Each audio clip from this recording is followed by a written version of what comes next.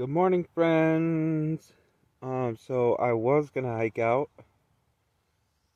but um, I forgot to download the maps for this next section, so I I have to go back into town.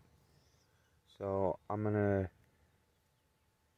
just go back into town and get that downloaded. Hopefully that doesn't take too long and then that's all I have to do, and then I'll come back and pack up and at least get a few miles. Um,